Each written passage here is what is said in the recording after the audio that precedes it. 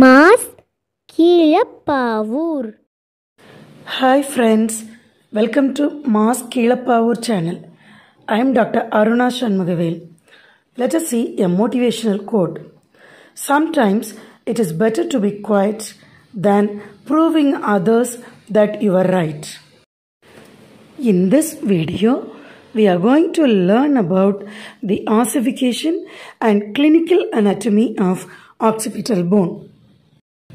The occipital bone shows both membranous and cartilaginous ossification. The squamous part above the external occipital protuberance undergoes membranous ossification. One on either sides of midline ossification centers appear by 8th week of intrauterine life. Soon they unite to form single center in the midline. The squamous part below the external occipital protuberance undergoes cartilaginous ossification.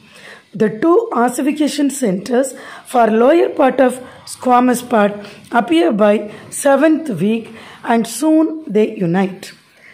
By 12th week of intrauterine life, the upper and lower parts of occipital bone unites. There are two centers for occipital condyles and they appear by 8th week of intrauterine life. The occipital condyles unite with the lower squamous part by second year of life. There is one ossification center for the basilar part and that appears by 6th week of intrauterine life. The basilar part unites with the occipital condyles by 6th year of life. The parts which develop by cartilaginous ossification are lower part of squamous part of occipital bone below external occipital protuberance, occipital condyles, basilar part.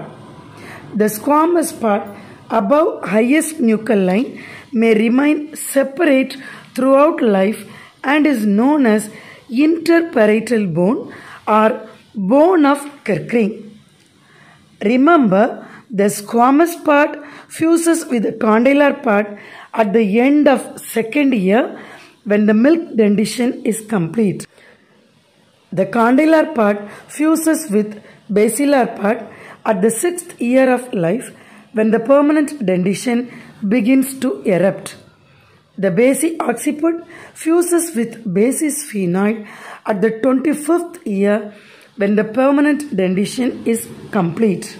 Thus, the backward elongation of the palate to accommodate the teeth is matched by a compensating growth of the skull base to keep the nasopharynx patent. Right, now let us see some clinical significance of occipital bone. In vertex presentation of fetus, position of the encaged head within the pelvic cavity is classified based on the position of occipital bone. Left occipito-anterior position is the commonest and best for the fetus to pass through the birth canal.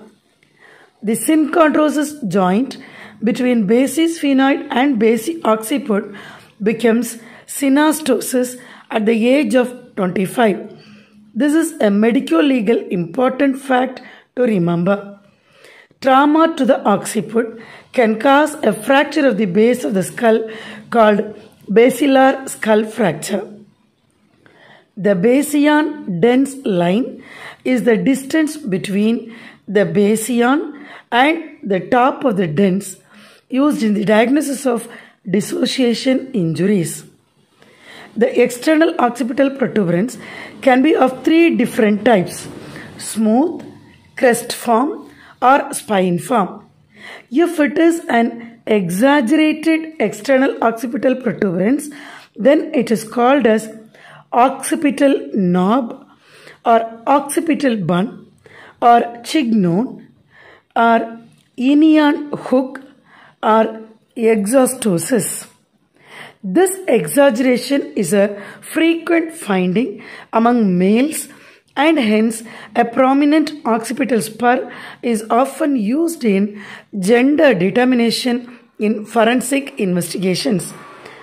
Children who use the devices with their head tilted down and poor posture also may result in bone spur because of increased stress on the skull from attached structures.